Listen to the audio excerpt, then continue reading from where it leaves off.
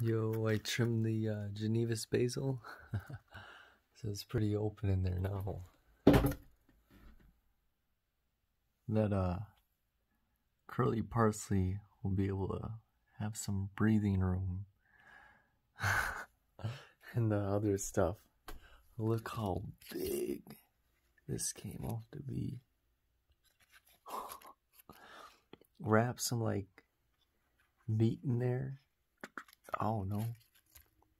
What what would you guys do with the Genovese basil? Any ideas uh what I could make with it? Oh, it smells so good. So fresh. Whew. that is awesome.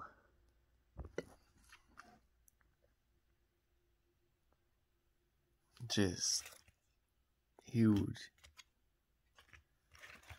Oh, look at that big guy. And they'll grow right back. This guy sadly got like fried. This is some dill that was too high up. And it was just gonna burn. Didn't want that to happen.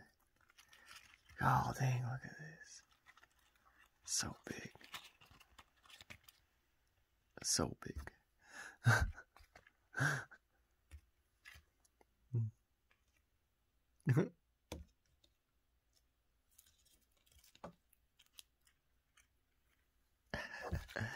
that is so cool. Man, that's so big. Ah. that's great.